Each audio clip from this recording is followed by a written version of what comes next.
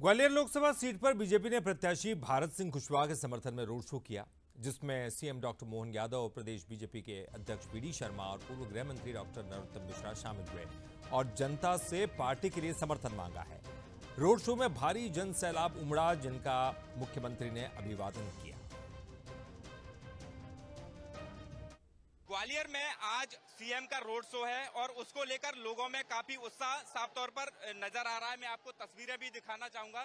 जो उत्साह है, वो आप साफ़ तौर पर देख सकते हैं। जो भीड़ है, जन सैलाब इस रोड शो के दौरान यहाँ पर देखा गया है और जो बीजेपी के जो तमाम कार्यकर्ता हैं, तमाम जो बड़े लीडर हैं, वो यहाँ पर पहुँचे हैं। प्रदेश अध्यक्ष वी शर्मा जी की बात की जाए सीएम खुद यहाँ पर मौजूद हैं और बीजेपी के दिग्गज नेता हैं भारत सिंह कुशवाहा के लिए वोट यहाँ पर मांगते हुए नज़र आ रहे हैं, चूँकि अब पूरा जो दमखम है, वो सिर्फ़ 24 घंटे चुनाव में रह गया। ऐसे में जो है पूरी दमखम जो नेता है, वो लगा रहे हैं। इस समय बीडी शर्मा जी हमारे साथ हैं, उनसे हम बात करने की कोशिश करते हैं। सर कितना जन ये आज आप ग्वालियर के अंदर जो रोड शो है, इतना अपार जन समर्थन और उत्साह जनता का और आशीर्वाद जो मिल रहा है, ये साबित करता है कि इस बार प्रधानमंत्री मोदी जी को तीसरी बार प्रधानमंत्री बनाने के लिए जनता का अपार स्नेह और उत्साह और उमंग के साथ आशीर्वाद मिल रहा है।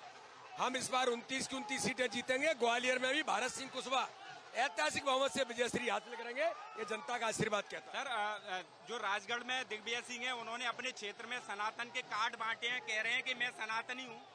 कहने से नहीं होता सनातन तो मन के अंदर होता है। और वो सनातन तुम्हारे कहीं है नहीं इसलिए जनता जानती है। छिंदवाड़ा राजगढ़ में बीजेपी ने पूरी दमखम यहाँ पर भी कमल खिल गया है और राजगढ़ भी कमल खिलेगा।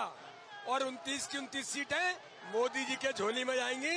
इस बार मध्य प्रदेश वोट शेयर का भी इतिहास बनाएगा। सर कांग्रेस एक लाख एक लाख हाँ, हाँ।